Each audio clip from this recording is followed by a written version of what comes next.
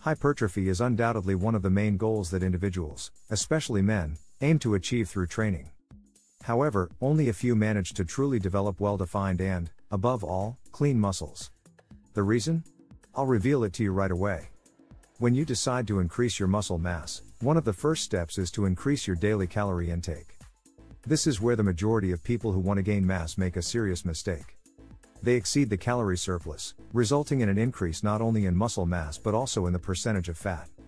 Why is this a problem? It's simple because during the definition phase, you will struggle much more to achieve the goal of a lean and sculpted physique that you have in mind since you'll have to lose kilograms of fat again. And there's also the risk of losing the muscle mass that you built with months of hard work. Those who make the mistake of exceeding the calorie surplus can be easily identified. They are the ones who develop a round physique more resembling overweight than muscular and defined. So, avoid this mistake absolutely. Do you want to know the secret to clean mass and a beautiful sculpted physique? The secret is to maintain a constant percentage of fat by proceeding with controlled small calorie surpluses. This means starting with a 5 to 10% surplus and then observing what happens to your body. If the fat percentage remains stable, you can proceed and gradually increase the calories. Otherwise, it's better to stop. In conclusion, remember, the secret is not to be in a hurry.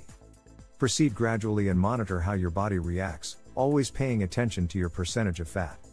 Follow these simple tips, and I'm sure that with dedication and consistency, you will soon achieve your fitness goal.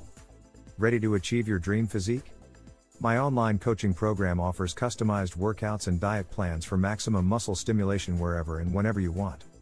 Let's work together to unleash your full potential and achieve the best version of you.